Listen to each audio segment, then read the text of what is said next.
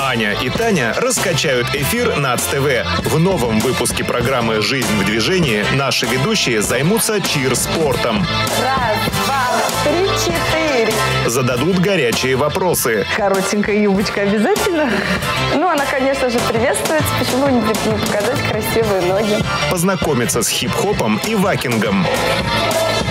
И попробуют справиться с хореографией. Да похоже на курицу. Лапку курицы. Получится ли у них? Смотрите 24 октября в 20.30 на национальном телевидении Чувашии.